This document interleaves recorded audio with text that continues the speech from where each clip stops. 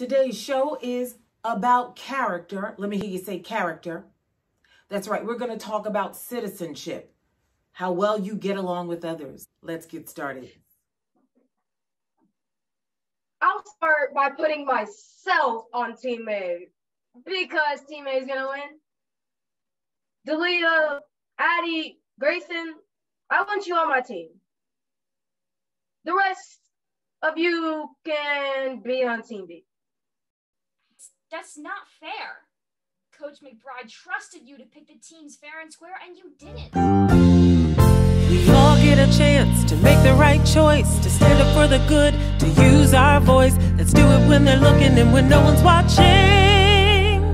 Cause it's always cool to do the right thing.